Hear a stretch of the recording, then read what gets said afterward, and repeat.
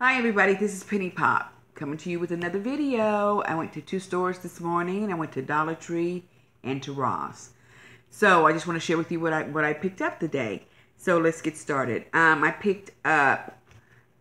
We're gonna start with Ross. I picked up some rose body oil. I love this stuff. Oh man, I do. I picked up some black alkaline water good stuff. Alkaline water is very good for you. And I love it. I picked up two tops from Ross.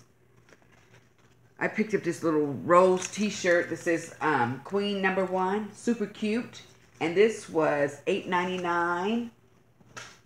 I'm losing weight. I don't know why I'm buying clothes now. I need not to because I am losing weight and I don't know what I'm going to do with all these clothes. A white top, super cute. And this was $13.99, I believe. Yes, $13.99, but it's super cute. And I picked up this um, sign. And it says, Gather here with grateful hearts. Really super cute.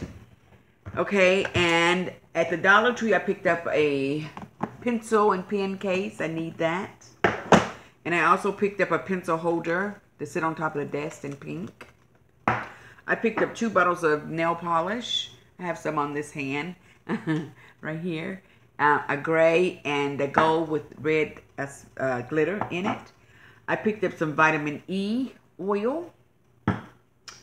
I picked up three lip glosses, lip balms, apple, lemon, and strawberry. Yes super cute.